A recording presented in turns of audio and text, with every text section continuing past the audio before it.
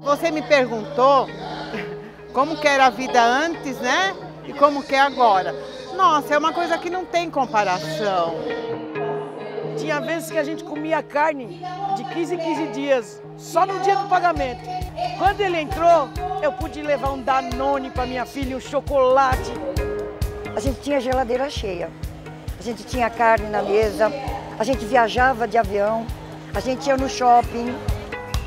Eu lembro que dentro de casa tinha diversidade, né? De alimentos, de frutas. Cenoura, repolho, laranja, toda a geladeira tinha. Hoje está difícil. Tomate, toda a geladeira tinha.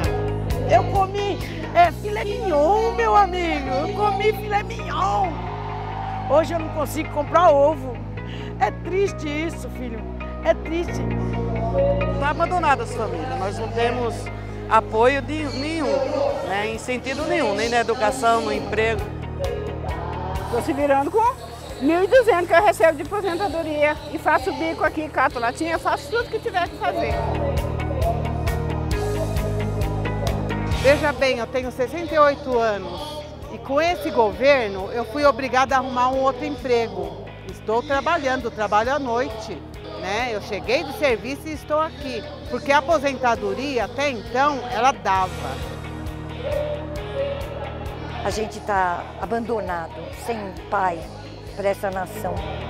Para ser sincera, não sei o que, que eles querem com a população. O que, que é bom para eles? Ter a população toda na rua? Esse governo já o quê? Acabou com a vida de muita gente na pandemia e agora ele quer o quê? Acabar com a vida da gente na fome? Na miséria? Porque é impossível um governo não pensar nas pessoas que não comem, que comem osso. Por isso que eu digo, eu sou Lula porque em 13 anos ele mudou muita coisa nesse país.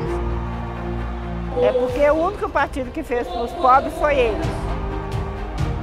Só ele lembra da periferia, só ele lembra que nós existimos. Quem conhece um pouco da história sabe que as coisas não mudaram muito em 500 anos.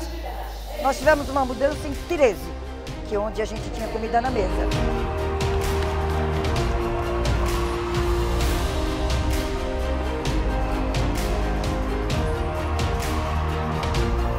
Lula, eu te amo.